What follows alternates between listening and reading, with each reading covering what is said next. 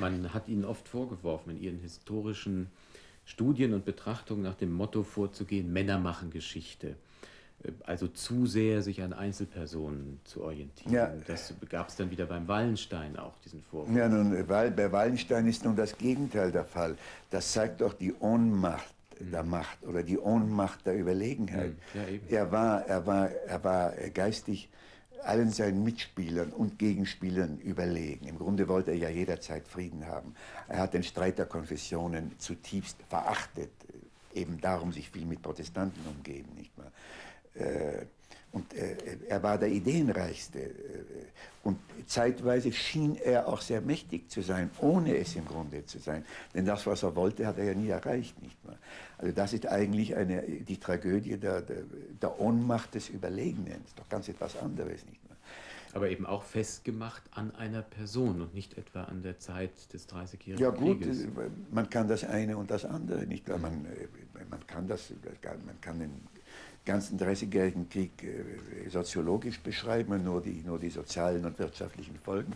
Ich habe nichts dagegen. Aber äh, warum denn äh, den Menschen, der doch das Interessanteste an der Sache ist, völlig, völlig weglassen? Und dazu gehören ja auch die, die, die mächtigen oder, oder, oder, oder scheinmächtigen äh, äh, Menschen. Ich bin auch da reiner Empiriker, ich habe keine Theorie. Heute spricht man vom theoretischen Vorgriff. Das heißt, dass man von vorne äh, äh, schon weiß, was man finden will mhm. und dann auf Teufel komm heraus äh, findet. Ich weiß nicht, was ich finde, wenn ich etwas zu studieren anfange. Meine, nehmen wir zum Beispiel Bleichröder, den, damals den reichsten Bankier in, in, in, Deutschland oder in Preußen, und Bismarck. Hm, da würde man glauben, könnte man sagen, die Hochfinanz hat im äh, letzten Drittel des 19. Jahrhunderts auf die Politik, äh, soziale und äußere, einen starken Einfluss ausgeübt. Mhm. Bleichröder war der reichste Bankier in, in, in Deutschland. Die, die, neuen Großbanken waren ja noch nicht erschienen, ja. nicht wahr? Und er war Bismarcks Bankier. Er ist Bismarcks Sklave gewesen und hat überhaupt keinen Einfluss auf Bismarcks Politik gehabt. Rein gar nicht. nicht wahr? Mhm. Das kann man doch nur feststellen, wenn man es studiert. Vorher weiß man es nicht. nicht? Ja.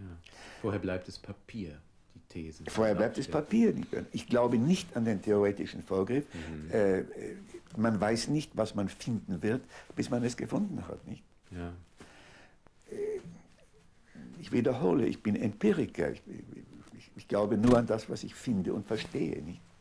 1933, äh, im Frühjahr, bereiteten Sie Ihre berufliche Zukunft vor, auch ohne Vorgriff sozusagen, als ob alles in Ordnung wäre, obwohl Sie bald schon die Immigration, die Ihrer Eltern und die eigene vorbereiten mussten. Die Ereignisse überschlugen sich dann in diesem Jahr, aber ja. im Frühjahr noch keine Rede von Immigration.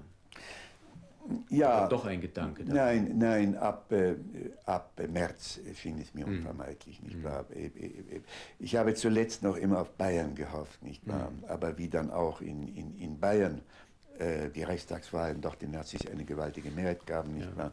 Und, äh, und die bayerische Regierung fluchtartig zurücktrat und so.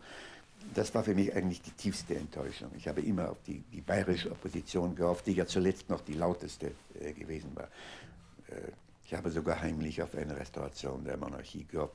Wie viele Münchner damals übrigens, da der, der Kronprinz Ruprecht von Bayern ja eine sehr bedeutende Persönlichkeit war. Dafür reicht es bei ihm auch keineswegs aus, nicht wahr? Der erwartete, dass, äh, dass er von, von, von Jungfrauen in weißen Kleidern empfangen würde und so nicht. Er war kein, er war kein Louis Napoleon, er war kein Staatsstreicher, das, war, das konnte er nicht sein. Nicht das lag seiner Familie nicht. Also von da ab wusste ich, dass es, dass, es, dass es meine Hoffnungen vergeblich waren, dass ich meinen Plan zuerst als Gymnasiallehrer in Deutschland anzufangen nicht durchführbar war. Nicht mehr. Und dann verbrachte ich den Sommer bei meinen Eltern in, äh, in, äh, in, an der Côte d'Azur, in Sanary, wo es von gestürzten Größen und äh, neuen Immigranten nur so wimmelte, wo immer man sich in ein Café setzte, saßen ein paar gestürzte Größen, nicht wahr? Bertolt Brecht oder, oder Arnold Zweig oder wer es war. Nicht und, äh, und dann im Herbst ging ich nach, äh, nach, nach Paris, nach, mhm. nach Saint-Cloud, wo ich einen, ein, ein Hilfslehrerpöstchen Au pair bekam, also für Kost und, Kost und Logis, nicht wahr, ohne, ohne Gehalt. Da habe ich aber dann sehr, sehr viel gelernt in den folgenden Jahren. das ist für mich vielleicht die intensivste Lehrzeit gewesen, die ich je hatte.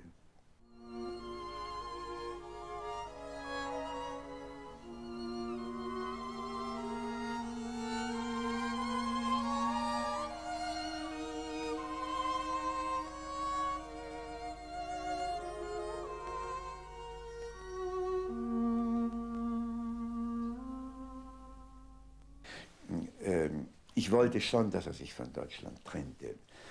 Aber er, er hatte eine treue Lesergemeinde in Deutschland und noch konnten der erste und der zweite Band äh, der biblischen Tetralogie, also äh, äh, die Geschichten Jakobs und der junge Josef, konnten ja noch in Deutschland mhm. erscheinen, nicht wahr? Und erst dann hat er sich endlich entschlossen, sich ganz öffentlich und dann mit äußerster Schärfe gegen das Dritte Reich zu erklären. Und dann kam die Ausbürgerung, die wurden alle ausgebürgert und so weiter nicht mehr. Bei mir war es sippenhaft, denn ich hatte ja mit meinem Namen noch kein Wort über oder gegen das Dritte Reich geschrieben nicht mehr.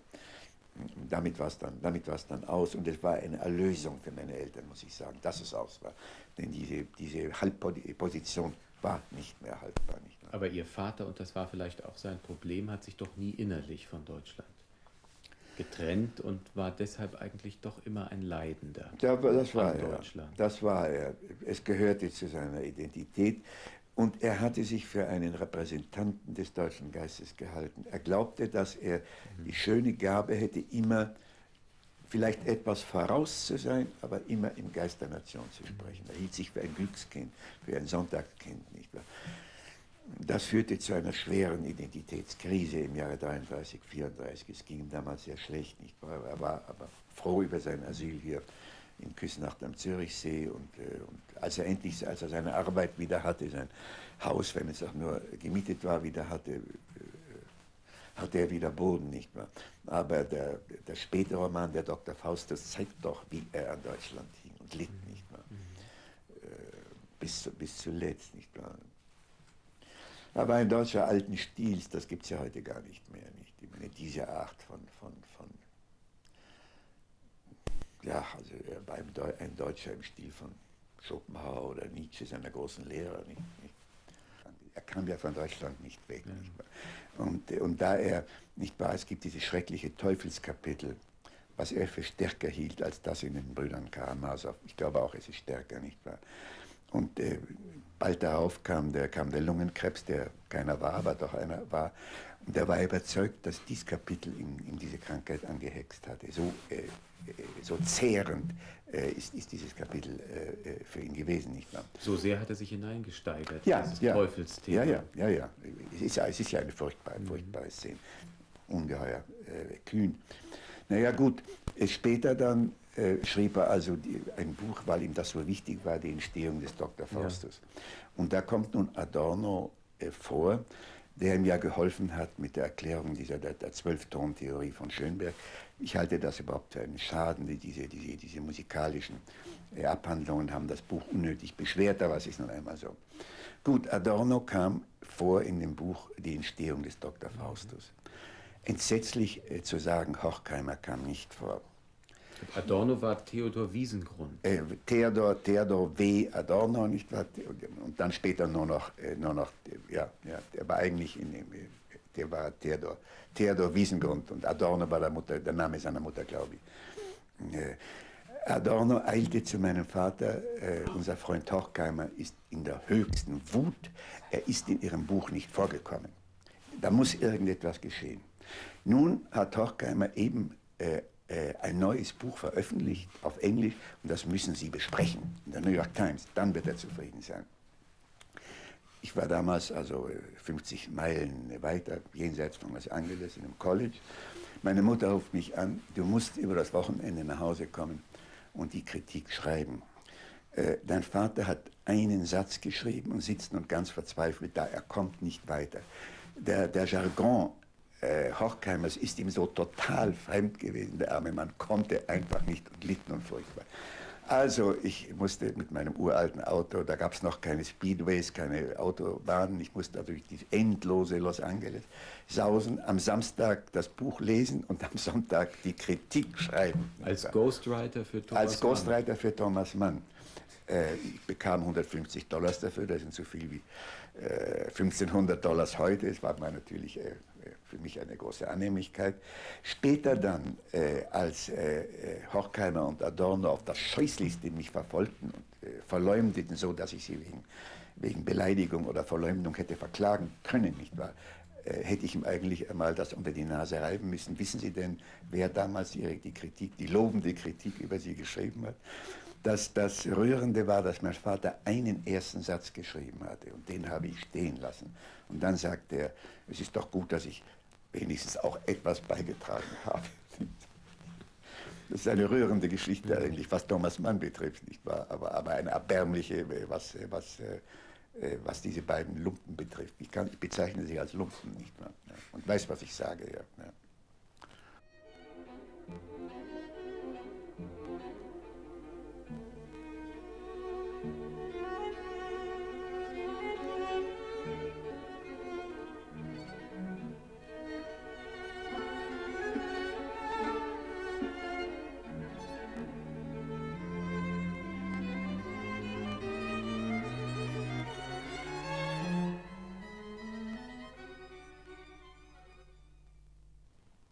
Sie nicht auch ein Deutscher alten Stils im Grunde Ihres?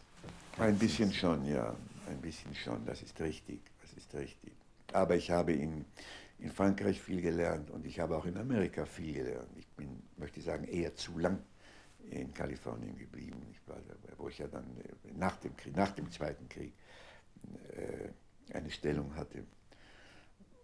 Äh, Sie hätten dort ein Auskommen finden können als Hochschullehrer. Es wäre Ihnen gut gegangen. Sie hätten immer schönes Wetter gehabt. Und viele sind eben einfach in Amerika geblieben. Warum sind Sie zurückgekommen? Als Europäer. Äh, ich habe mich immer ganz entschieden als Europäer gefühlt. Mhm. Ich war mit 18 Jahren leidenschaftlicher Anhänger Graf Kudenhobes und seines Pan-Europas, nicht wahr? Mhm. Ich habe immer an Europa geglaubt. Heute, wo es ja nun nahe scheint, ich sage scheint, äh, interessiert es mich nicht mehr so brennend, äh, aber, aber trotzdem bin ich froh, dass es etwas dergleichen gibt. Äh, der Jammer ist, ich möchte sagen, die Schande ist, äh, dass die innereuropäischen Kriege erst dann aufgehört haben, äh, als das ganze Europa zu schwach geworden war, der weiten Welt gegenüber, um überhaupt noch einen innereuropäischen Krieg zu erlauben. Plötzlich waren alle, äh, alle Gegensätze der Vergangenheit erschienen lächerlich, was sie auch waren. Meine, die, die, die Schande und die Schmach war eben, dass es zum Ersten Weltkrieg kam, äh, der, der die Mutter der Zweiten, des Zweiten war und aller, aller Katastrophen der ersten Hälfte unseres Jahrhunderts war. Das war schon ein, ein, ein, ein schmählicher Anachronismus und äh, Blindheit der Militärs, nicht wahr? Und, und, und ebenso blinder Politiker, nicht? Die es in allen Ländern gab, keineswegs nur in Deutschland, nicht wahr? Keineswegs nur.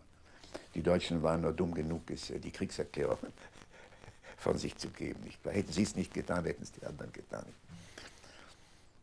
Ungefähr so ist es. Mhm. Und dieses Europa brachte sie wieder zurück, weil äh, sie einfach glaubten, dass es ein besseres Gefühl sei, Teil ja, ja, dieses ja, Ganze ja, zu sein. Ja, und dass ich hier in, in deutscher Sprache schreiben konnte. Ich habe nie ein Buch auf, auf Englisch geschrieben, auf Amerikanisch. Ich habe Essays geschrieben, Buchkritiken. Ich habe auf Englisch gelehrt, äh, aber ich habe nie ein Buch geschrieben. Und ich wollte es auch nicht. Ich konnte kein Buch auf Englisch schreiben. Das, Kleinigkeiten, ja, aber, aber dafür, dafür brauchte, brauchte ich ein deutsches Publikum nicht, ein deutsch lesendes Publikum nicht. Also auch hier wieder eigentlich der Drang, schriftstellerisch tätig zu sein, ja, und zwar ja, in der ja. deutschen Sprache. Und das, und das in meiner Sprache. Alle anderen Sprachen konnten sehr schön sein. Es hat mir also... Äh, Zeitweise habe ich Französisch beinahe wie ein Franzose gesprochen. Man hielt mich für einen Lothringer oder so. Nicht, das ist heute wieder vorbei, weil ich dann so lange nur Englisch rede. Es hat mir schon Spaß gemacht. Das Französische gibt einem ein bisschen Flügel in seiner Eleganz, nicht wahr? Es kann auch seine komische Seite haben, das Deutsche auch nicht. Aber, aber ich konnte kein französischer Schriftsteller werden und ich konnte kein amerikanischer Schriftsteller werden. Das, wollte, ich, das konnte ich nicht. Und so kam dann eben in Deutschland allmählich mein, mein Aufstieg als Schriftsteller, ich möchte sagen im deutschen Sprachraum. Nicht wahr? Ja.